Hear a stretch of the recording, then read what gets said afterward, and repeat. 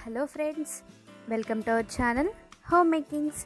ఈరోజు మన ఛానల్లో ఎంతో టేస్టీగా ఈజీగా వెనీలా కూల్ కేక్ని ఇంట్లోనే ఎలా ప్రిపేర్ చేసుకోవాలో చూపించిపోతున్నాను అలాగే కేక్ డెకరేటింగ్ కూడా ఈజీగా చూపించిపోతున్నాను మీరు కూడా మీ ఇంట్లో ఎవరిదన్నా బర్త్డేస్ ఉంటే ఇలా తప్పకుండా ట్రై చేయండి అందరికీ నచ్చుతుంది.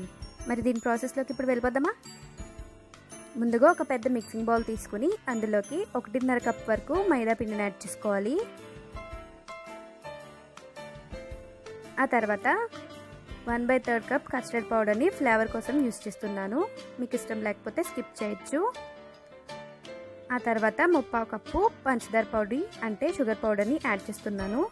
మీరు కస్టర్డ్ పౌడర్ యూస్ చేయకపోతే వన్ కప్ వరకు షుగర్ పౌడర్ని యాడ్ చేసుకోవాలి. ఆ తర్వాత రెండు టీ స్పూన్ల బేకింగ్ పౌడర్.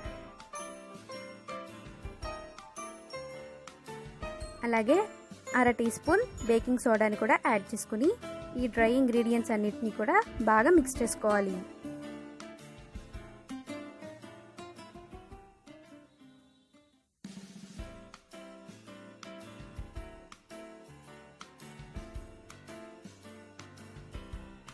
ఇలా ఇవన్నీ బాగా మిక్స్ చేసిన తర్వాత ఒకసారి దీన్ని టేస్ట్ చేసి షుగర్ అనేది మీకు సరిపోకపోతే ఇంకొంచెం యాడ్ చేసుకుని ఇప్పుడే అడ్జస్ట్ చేసుకోవాలి.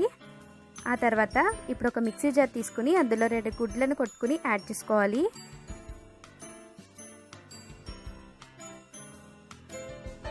ఇలా రెండు గుడ్లు వేసుకున్న తర్వాత మిక్సీ మీద దీన్ని రెండు నిమిషాల పాటు స్మూత్గా బ్లెండ్ చేసుకోవాలి.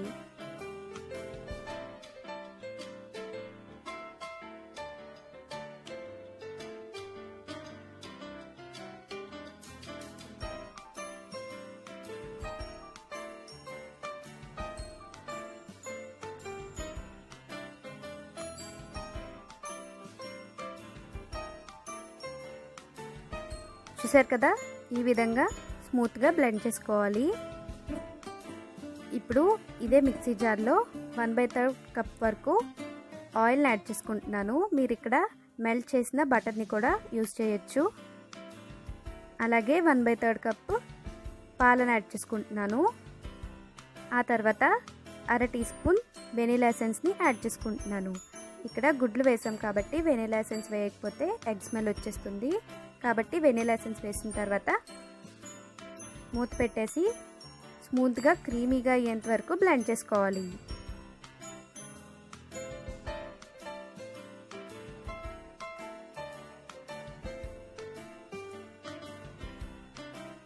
చూసారు కదా క్రీమీ టెక్స్చర్ వచ్చేసింది. ఈ విధంగా వచ్చేంత వరకు మనం బ్లెండ్ చేసుకోవాలి.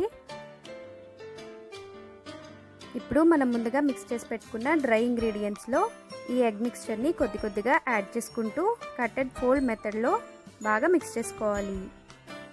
మీ దగ్గర స్పాచ్లో ఉంటే స్పాచులాతో మిక్స్ చేయొచ్చు లేదంటే ఇలా చెక్క గరిటతో కూడా కట్ అండ్ ఫోల్డ్ మెథడ్లో ఒకే డైరెక్షన్లో మిక్స్ చేసుకోవాలి. డైరెక్షన్ చేంజ్ చేసినట్లయితే మనకి కేక్ అనేది పొంగదనమాట కాబట్టి ఒకే డైరెక్షన్లో మనం మిక్స్ చేసుకోవాలి. ఇలా ఉండలు లేకుండా మిక్స్ చేసుకుంటే మనకి బ్యాటర్ కన్సిస్టెన్సీ వచ్చేసి ఇలా వస్తుందన్నమాట. ఈ కన్సిస్టెన్సీలో ఉంటే మనకి కేక్ అనేది సాఫ్ట్గా స్పాంజీగా వస్తుంది. ఇప్పుడు ఒక స్టీల్ గిన్నె తీసుకుని అందులోకి ఆయిల్ వేసి ఈ గిన్నెను బాగా గ్రీస్ చేసుకోవాలి.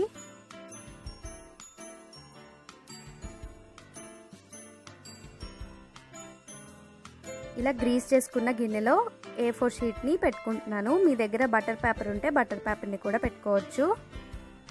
ఇలా ఏ ఫోర్ షీట్ పెట్టుకున్న తర్వాత దీనిపైన కూడా ఆయిల్ వేసి ఒకసారి బాగా గ్రీస్ చేసుకోవాలి.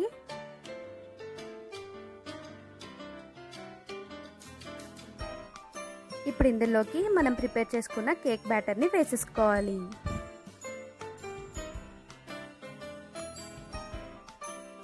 కేక్ బ్యాటర్ వేసిన తర్వాత మూడు సార్లు ఈ గిన్నెను ట్యాప్ చేసుకోవాలి. అలా చేసుకోవడం వల్ల ఎయిర్ బబుల్స్ ఏమన్నా ఉంటే పోతాయి అన్నమాట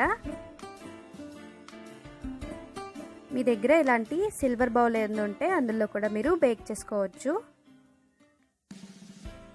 ఇప్పుడు కేక్ని బేక్ చేసుకోవడం కోసం స్టవ్ ఆన్ చేసి ఒక మందమైన గిన్నె పెట్టుకుని అందులో ఒక కప్ ఇసుక లేదా సాల్ట్ వేసుకొని దానిపైన స్టాండ్ పెట్టి మూత పెట్టి మీడియం ఫ్లేమ్లో ఐదు నుంచి పది నిమిషాల పాటు ప్రీహీట్ చేసుకోవాలి.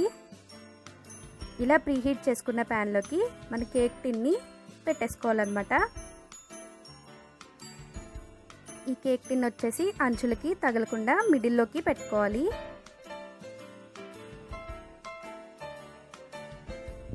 ఇలా పెట్టిన తర్వాత దీనిపైన ఒక మూత పెట్టేసుకోవాలి.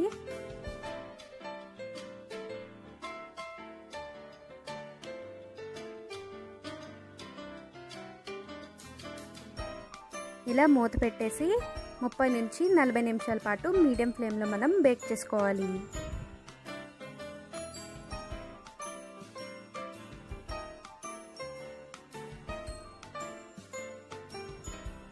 ముప్పై నిమిషాల తర్వాత నేను ఒకసారి కేక్ బేక్ అయిందో లేదో చెక్ చేస్తున్నాను. ఇది చెక్ చేసుకోవడం కోసం ఒక నైఫ్ తీసి కేక్ మధ్యలో గుచ్చి చూడాలన్నమాట. ఇక్కడ మనకి ఈ నైఫ్ వచ్చేసి వెట్గా ఉంది చూసారా? ఇలా వచ్చిందంటే కేక్ ఇంకా రెడీ అవ్వలేదు. కాబట్టి మరో పది నిమిషాల పాటు మూత పెట్టి బేక్ చేసుకోవాలి.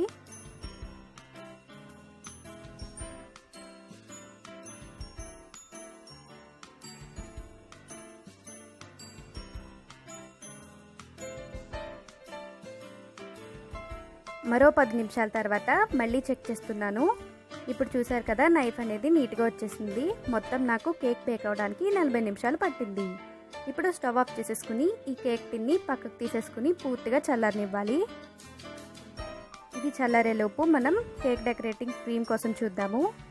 ఈ క్రీమ్ వచ్చేసి బటర్ ఫ్రోస్టింగ్ క్రీమ్ అనమాట నేను ఇది ఎలా ప్రిపేర్ చేసుకోవాలో మన ఛానల్లో ఆల్రెడీ వీడియో పోస్ట్ చేశాను. లింక్ డిస్క్రిప్షన్ ఇస్తాను. చెక్ చేయండి. దీన్ని టూ పార్ట్స్గా చేసి ఒక పార్ట్ని పక్కన పెట్టేసుకుని వేరొక పాటలో గ్రీన్ ఫుడ్ కలర్ని యాడ్ చేస్తున్నాను. ఇలా గ్రీన్ ఫుడ్ కలర్ యాడ్ చేసి బాగా మిక్స్ చేసుకోవాలి.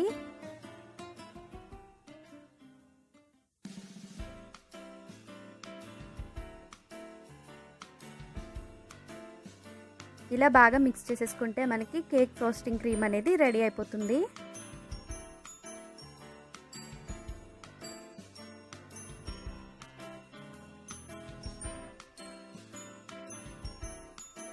చూసారు కదా?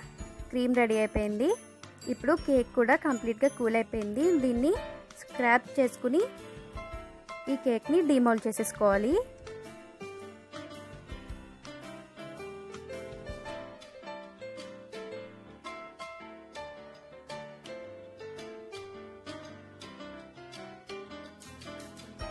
చూసారు కదా? చాలా సాఫ్ట్గా వచ్చింది స్పాంజీగా వచ్చింది. ఇప్పుడు దీని టాప్ లేయర్ని నేను ఒక నైఫ్తో కట్ చేసేసుకున్నాను. ఈ టాప్ లేయర్ వచ్చేసి కేక్ డెకరేటింగ్లో నేను యూస్ చేస్తాను. అలాగే మిగిలిన కేక్ని కూడా త్రీ లేయర్స్గా థ్రెడ్ యూస్ చేసి కట్ చేశాను అనమాట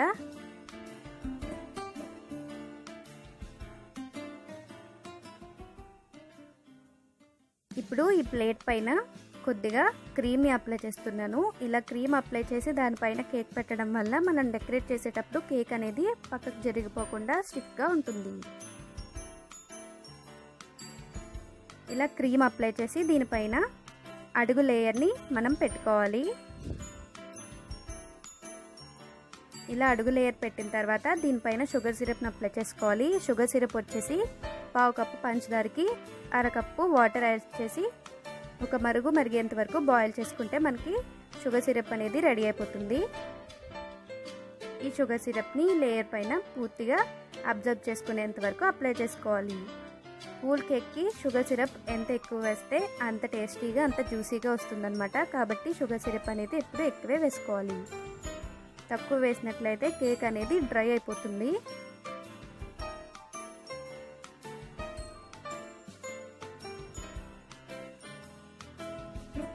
ఇలా కేక్ అంతా కూడా షుగర్ సిరప్ అప్లై చేసిన తర్వాత దానిపైన మన బటర్ ఫ్రోస్టింగ్ క్రీమ్ అనేది అప్లై చేసుకోవాలి. మనం గ్రీన్ ఫుడ్ కలర్ యాడ్ చేసాం కదా ఆ క్రీమ్ని అప్లై చేస్తున్నాను.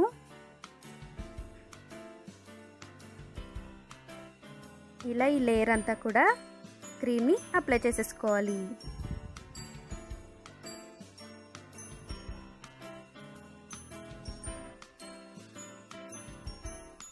ఇప్పుడు దీనిపైన మిడిల్ లేయర్ని కూడా ఇలా పెట్టుకుని సేమ్ ప్రాసెస్ని రిపీట్ చేయాలి.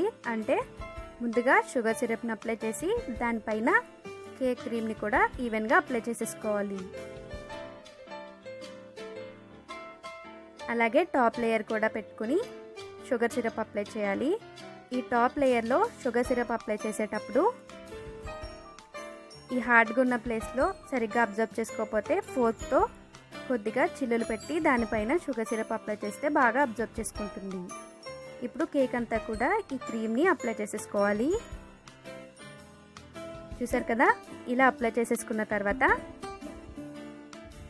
దీని డెకరేటింగ్ కోసం మనం టాప్ లేయర్ని తీసి పెట్టుకున్నాం కదా? దాన్ని ఇలా చేతితో క్రష్ చేస్తే పౌడర్ అయిపోతుంది. అందులోకి గ్రీన్ ఫుడ్ కలర్ యాడ్ చేశాను.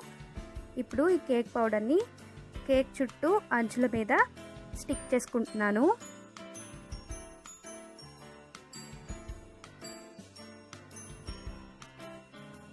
ఇలా ఈ కేక్ పౌడర్ ఇక్కడ మనం డెకరేటింగ్కి యూజ్ చేయడం వల్ల ఆ టాప్ లేయర్ వచ్చేసి మనకి వేస్ట్ అవ్వకుండా ఉంటుంది. అలాగే కేక్ కూడా చాలా అందంగా ఉంటుంది.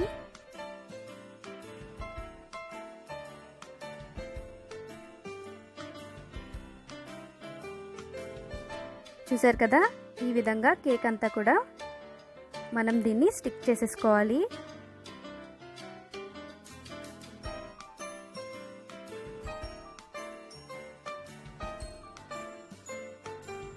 ఇలా కేక్ పౌడర్ని డెకరేట్ చేయడం వల్ల మనకి చూసారు కదా మంచి గ్రీనరీగా వచ్చింది. ఇలా కేక్ అంతా కూడా స్టిక్ చేసేసుకున్న తర్వాత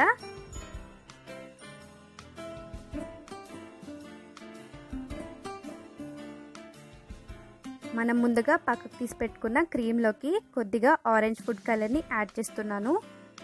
యాడ్ చేసి బాగా మిక్స్ చేసుకుని ఒక పైపింగ్ బ్యాగ్లోకి యాడ్ చేసుకుని దీనిపైన ఫ్లవర్స్తో డెకరేట్ చేసుకుంటున్నాను. ఇక్కడ నేను హోమ్ మేడ్ పైపింగ్ బ్యాగ్ అలాగే స్టార్ నోజల్ని యూస్ చేస్తున్నాను. మీకు ఈ వీడియో పోస్ట్ చేస్తాను.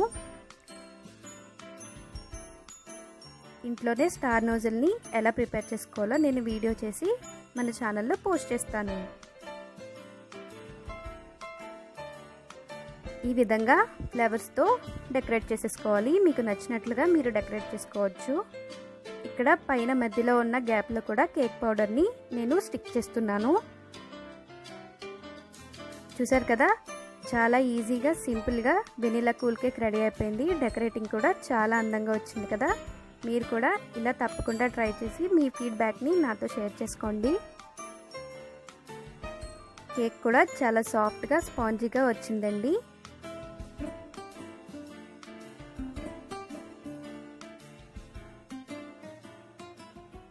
ఈ వీడియో మీకు నచ్చినట్లయితే లైక్ చేసి మీ ఫ్రెండ్స్కి ఫ్యామిలీకి షేర్ చేయండి. అలాగే మీ సజెషన్స్ని నాతో కామెంట్ సెక్షన్లో షేర్ చేసుకోండి. ఇంకా ఇలాంటి ఎన్నో టేస్టీ రెసిపీస్ కావాలంటే మా హోమ్ మేకింగ్ ఛానల్ని సబ్స్క్రైబ్ చేసి పక్కనున్న బెల్ ఐకాన్ని కూడా యాక్టివేట్ చేసుకోండి.